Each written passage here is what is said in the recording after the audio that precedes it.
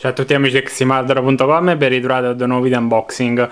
In questo video andremo ad analizzare la tastiera meccanica eh, da gioco Rantopad MT Aegis eh, abbiamo già analizzato negli scorsi giorni il mouse da gaming Radopad FF e oggi continuiamo con questa tastiera meccanica. Partendo velocemente dalla confezione troviamo immagine illustrativa della tastiera, alcune informazioni, loghi e quant'altro che sono riportati anche nel retro della confezione stessa con ulteriori illustrazioni e descrizioni. Ovviamente come abbiamo detto essendo il brand cinese troveremo delle descrizioni soltanto soltanto in cinese.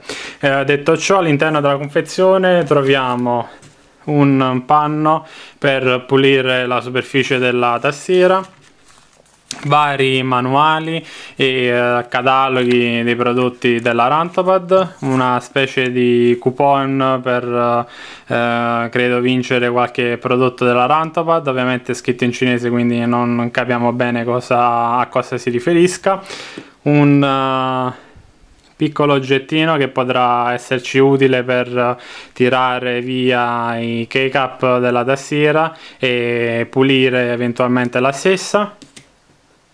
Ed ovviamente la tastiera stessa come possiamo vedere è una tastiera full layout quindi dotata anche di tasserino numerico.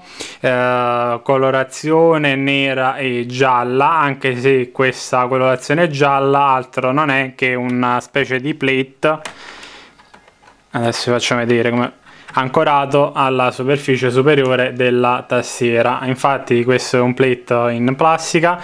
Nella parte inferiore troviamo dei piccoli eh, magneti che ci permetteranno appunto di adagiare semplicemente il plate e innestarlo sulla superficie superiore della tastiera e quant'altro passando alla tastiera stessa design classico colorazione eh, prettamente nera tranne questo plate che ovviamente potremo intercambiare con altri forniti dall'azienda azienda che ovviamente vanno acquistate a parte. La tastiera ha una retroilluminazione di colore blu che potrà essere variata di intensità e di eh, diciamo effetti tramite i tasti F10 ad F12 con il tasto F9 potremo passare dalla modalità normale alla modalità gaming, mentre con i tasti F11 ad F8 potremo eh, accedere ai tasti multimediali.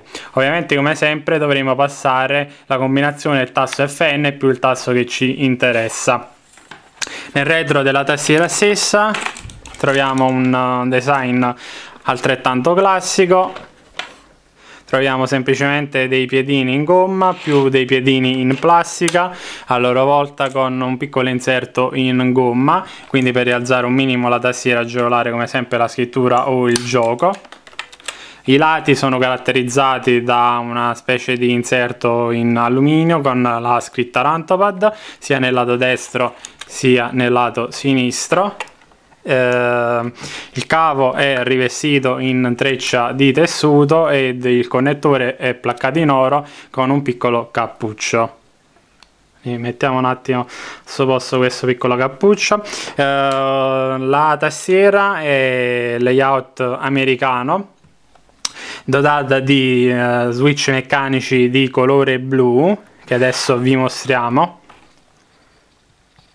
Ok e sopra diciamo la struttura dello switch troviamo anche una sorta di cioè troviamo il led che appunto darà la retroilluminazione ai tasti. Eh, abbiamo precedentemente estratto già la tastiera come stiamo ultimamente facendo con tutti i prodotti analizziamo. E mm, digitando un po' casualmente i tassi sulla, um, digitando praticamente i tassi della tastiera ci siamo accorti che um, i switch che vengono utilizzati per questa tastiera non sembrano essere proprio dei CRMX o dei Kyle ma una copia abbastanza economica di entrambi. E infatti anche il suono non è dei migliori ma vedremo tutto questo ovviamente nei nostri test. Quindi per, per ora è tutto vi rimandiamo dunque alla recensione scritta sul nostro sito www.ximardor.com un saluto allo staff